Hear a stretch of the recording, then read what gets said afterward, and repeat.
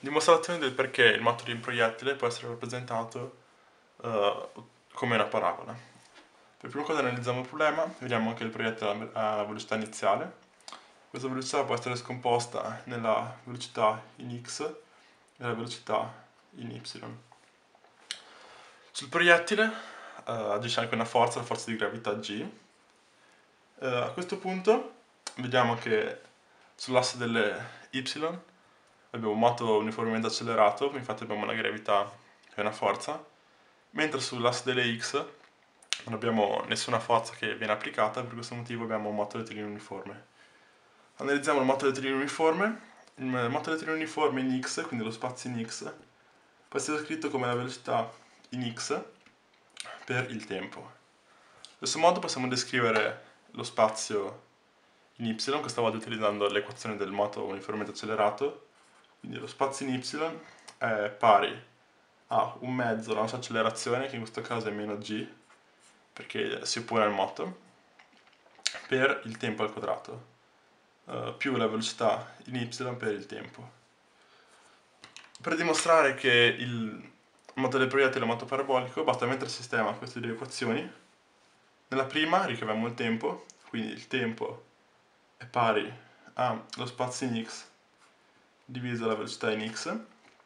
Nella seconda, nella sostituiamo, quindi lo spazio in y è pari a un mezzo che moltiplica meno g per lo spazio in x fratto la velocità in x al quadrato più la velocità in y per lo spazio in x fratto la velocità in x. Uh, e moltiplichiamo, quindi spazio in y uguale a un mezzo che moltiplica uh, meno g spazio in x alla seconda fratto velocità in x alla seconda più velocità in y per spazio in x fratto velocità in x. Per, avere, per capire meglio chi è la variabile dipendente e quella indipendente, studiamo spazio in y con y e spazio in x con x.